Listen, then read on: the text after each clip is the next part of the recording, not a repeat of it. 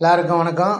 இது போன வீடியோவில் வந்து எல்லாத்தையும் கழட்டி ஆசிட் போட்டு ஊற வச்சு இப்போ நான் வந்து பெட்ரோல் பங்க் பெட்ரோல் போட்டு தான் க்ளீன் பண்ணேன் இதை. நீங்கள் வந்து கெரசின் கச்சா கெரசினில் பண்ணுங்க இல்லை டீசல் கச்சா டீசலில் கூட பண்ணுங்க பெட்ரோலில் கூட பண்ணுங்களாம் இது வந்து அலாமோட main spring with main wheel இது running side running main main spring with main wheel இது வந்து சென்டர் வீல் இது வந்து ரன்னிங் ஃபர்ஸ்ட் வீல் இது ரன்னிங் செகண்ட் வீல் இது தேர்ட் வீல் இது மினிட் வீல் இது அவர் வீல் இது வந்து ஸ்ட்ரைக்கிங் அடிக்கிறதுக்காக ட- அந்த ஹாமர் இது அலாரம் செகண்ட் வீல் இது வந்து ஸ்ட்ரைக்கிங் லீவர் இப்ப மாற்றுறது. ஒன் டூ த்ரீ அடிக்கிற ஸ்ட்ரைக்கிங் லீவர் அது. அலாம் ஃபர்ஸ்ட் வீல் இந்த பேர்லாம் ஞாபகம் வச்சுங்க. அந்த ஒவ்வொரு வீலும் ஒவ்வொரு சைஸ்ல இருக்கும். அந்த எந்த இடத்துல அது கரெக்டாக உட்காருது அப்படின்னு நீங்கள் வந்து ஞாபகம் வச்சு அது பண்ணுங்க. இது வந்து அலாரம் அடிக்கிற ஹாமர் இப்போ ஸ்கேப் வீல் வந்து அந்த பிளேட்ல வச்சு மெயின் பிளேட் வச்சு மூடுறோம். இது போஸ்டில உட்கார வச்சுட்டு லேசா ஒரு சைடு முதல்ல உட்கார வைக்கணும். இது இந்த பக்கம் உட்கார வச்சுட்டு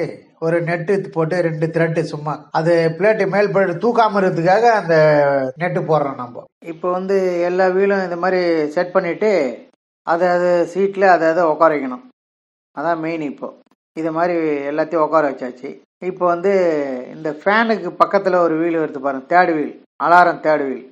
அதை வந்து மாட்டிகிட்ருக்கேன் இப்போது இந்த கழட்டும்போது பார்த்தீங்கன்னா எவ்வளோ ரஸ்ட் இருந்தது. ஆனால் இப்போ பாருங்கள் இது இப்போ எவ்வளோ பல பலன் இருக்குது பாருங்கள் இதுதான் அந்த ஆசிட்ல போட்டு ஊற வச்சா அப்படி ஆகும். அந்த அலாரம் தேடுவில் பா- மாட்டியாச்சு.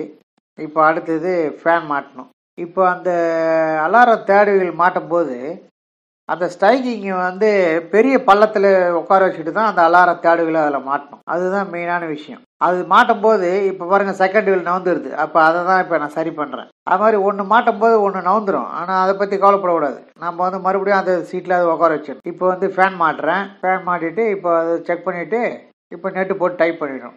நாலு வீலும் நெட்டும் டைட் பண்ணிடணும். அதாவது நாலு சைடு இருக்கிற நெட்டும் இப்போ வந்து கீ குத்து பார்க்கணும். கீ குத்து ஃப்ரீ பண்ணிடணும் எல்லாத்தையும். எல்லாத்தையும் செக் பண்ணிடணும் இது மாதிரி. இது இது எல்லாம் கரெக்டாக இருக்குதான்னு பார்த்துடணும்.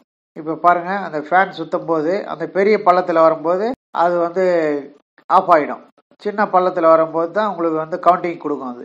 இது மாதிரி சாய்வு கொடுத்துட்டு நல்லா ஃப்ரீ பண்ணணும். ஃப்ரீ பண்ணாதான் வந்து அது நல்லா ஃப்ரீ ஆகும். வீலுங்க ஏன்னா எங்கேயாச்சும் ஒரு சின்ன பிடிப்பு இருந்தால் கூட சரியாயிடும் அது. இப்போ வந்து இது வந்து லிவர் இந்த லிவர் மாற்றம் பாருங்கள் இது லிவர் இது. அடுத்தது பெதர் ராடு மாற்றம் எல்லாத்துக்கும் ஆயில் பண்ணிடணும்.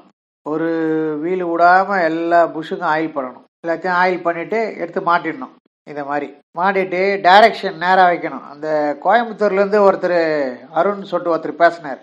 அவர் எல்லாம் பண்ணிட்டாரு. இதே மாதிரி இந்த டைரக்ஷன் தப்பாக வச்சுருந்தார் அவர். அது காலையில் ஃபோன் பண்ணும்போது அவர் அதான் ஞாபகப்படுத்தினேன் எல்லாரும் கவனிங்க இந்த கிளாக்கை மாட்டிட்டு கொஞ்சம் ரெண்டு அடி தூரமாக நின்று பாருங்கள் கிளாக்கு நேராக இருக்குதா பாருங்கள் கிளாக்கு நேராக வந்தால் தான் உங்களுக்கு டைரக்ஷன் கரெக்டாக இருக்கும். ஒன்று ரெண்டாவது இப்போ காட்டுறேன் பாருங்க.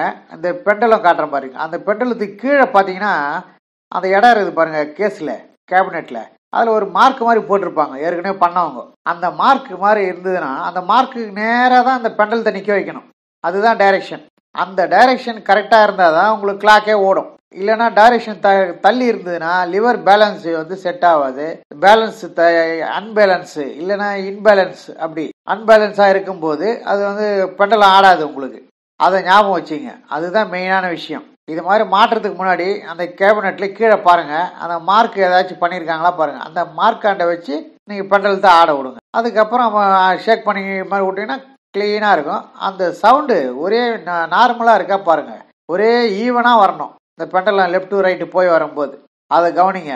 அது நிறைய பேர் அந்த தப்பு பண்ணுறீங்க அது சரி பண்ணிவிடுங்க அது. டைரக்ஷன் நேராக வைக்கலைன்னா கிளாக் ஓடாது. இப்போ பாருங்கள் அந்த பெண்டல் ஆடும் போது பாருங்கள் ஒரே ஈவனாக போய் போய் வரணும். அதுதான் டைரக்ஷன் கரெக்டாக இருந்தால் தான் இது மாதிரி ஆகும். டைரக்ஷன் நேராக இல்லைன்னு சொன்னால் நின்றுடும். ரொம்ப நன்றி. திரும்ப திரும்ப பாருங்கள் இல்லை முடிஞ்ச அளவு கற்றுங்க பொறுமையாக கைட்டு கைட்டு கைட்டி மாட்டினீங்கன்னா உங்களுக்கு பழக்கமாயிடும். நெக்ஸ்ட்டு குக்கு கிளாக் வந்திருக்கு.